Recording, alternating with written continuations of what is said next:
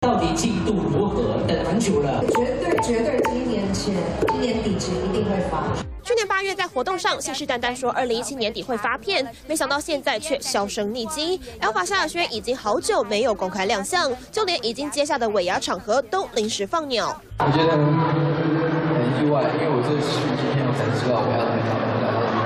找来萧敬腾上场救火。今年二月，萧亚轩临时变卦，不出席富邦集团台北场尾牙，甚至爆出他本来四月在中国北京、上海、广州等十多个大城市举办十三场演唱会，但现在通通不唱了。据传就是因为他的健康已经亮红灯。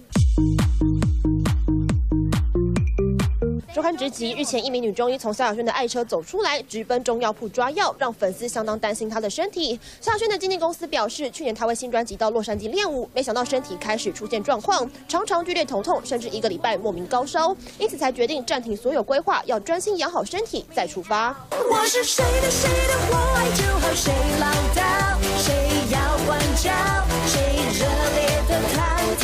讨。走那唱跳方面下足功夫的萧亚轩，根据了解，就是因为推出新专辑压力过大，让体弱的她无法负荷，才得了怪病。至少已经取消了中国十三场商演，估计报酬损失大约台币一点二亿元。三星人总报道。